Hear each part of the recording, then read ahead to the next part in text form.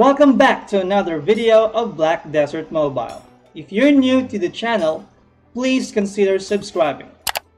For the past weeks, I have been AFK farming uh, for better gears, uh, silver coins, and of course, boss stamps. In this video, we will try to pull gears from Shakatu with just 16,000 gold coins. How many epic gears or mystical gears do you think we can get?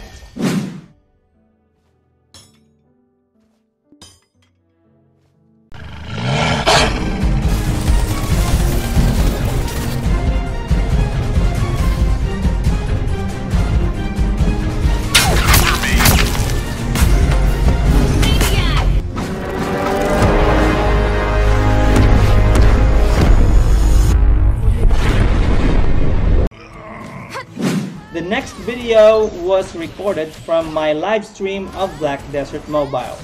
Here is my Facebook page if you want to check out our live streaming of this game. Now, let's begin the scam.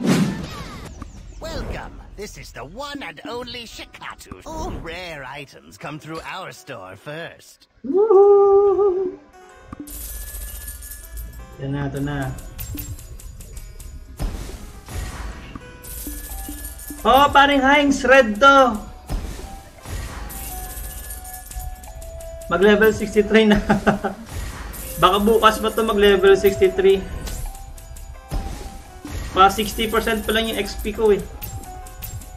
Stop muna ako pa level tawag dito. Um, pahinga muna ng konti. Kanina pa ako nag-AFK farming eh.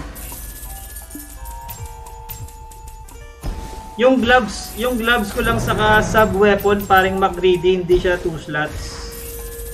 Grunil set pa ako eh, naka Grunil set pa ako eh. So unti-unti na ako nag-change ng armors. May isang orange helm na ako doon pero Shamir yun minus stats kasi tapos one slot one slot. One slotted lang siya. So ayun, hindi ko muna siya sinusuot. Or baka i-craft ko na lang, i-craft ko na lang yun. Mag, mag ano tawag dito? Uh, umasa ako na makakuha ng orange dito ngayon, no.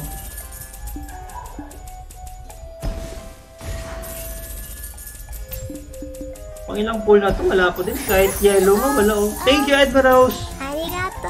Daming account ni Edgar Rose, ah.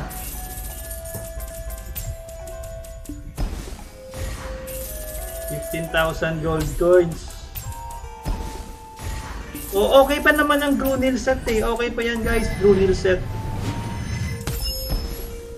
Yeah! Kalas helmet, orange.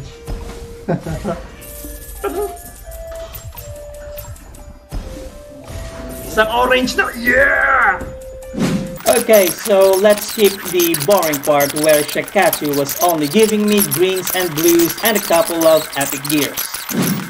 Lang sa akin kahit Save the best for last to.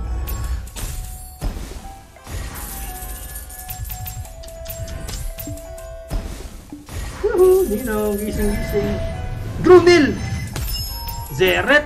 Okay na, Zeret, di ba? That's two slotted, guys. Two slotted, Zeret. I think two slotted yun. Two orange gears. Yung iba nga po, 90k iyak. Naku, oo. Thank you Ninong, gumising ka. Maraming salamat sa iyong uh, dalawang orange na helm. Maraming salamat. Sabi ko na nga ba, i-save the best for last eh. Hindi talaga ako binigo ni Ninong. I think Zeret is 2 uh, slotted pero minus stats. We'll see uh, pagkatapos ito. Save the best for last. Hindi ako naniniwala na wala pang ibibigay ito si Ninong. May ibibigay pa to. May ibibigay pa yan guys. Sa 400. Uy! Grunil! Yes! Sabi na Grunil! yes! Yun na guys. And that's the end of it. Sabi ko, di ba sabi ko guys, may ibubuga pa yan.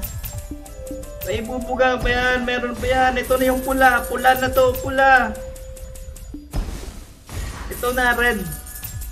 Red na to guys. Ito na yung red. Last. Wala na pala. Thank you, Ninaw Shakato. Maraming salamat sa iyong uh, um, butihing puso ngayong gabi. So ngayon guys, ang nakuha natin is Tarataran! Dadan!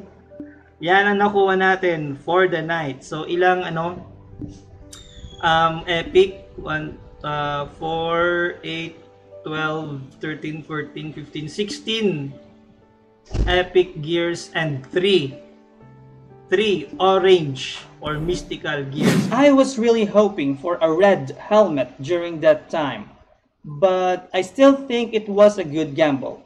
That's RNG for you guys. Sa 400. Uy! Grunil! Yes! Sabi na Grunil!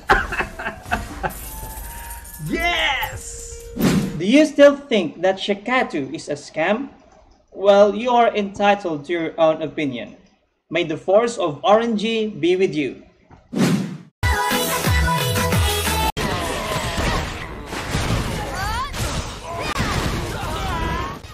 Did you know?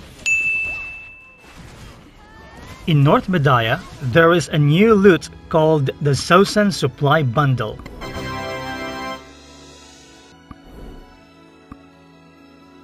It contains random items like gathering materials, golden items which you can sell on the NPC, and others say sometimes it will give you a token worth 3 million silver coins. It is randomly dropped by mobs in these zones. That's all for now. Thank you for watching and I'll see you on my next video.